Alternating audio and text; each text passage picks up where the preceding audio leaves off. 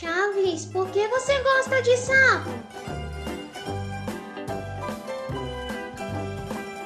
Para manter as meninas longe.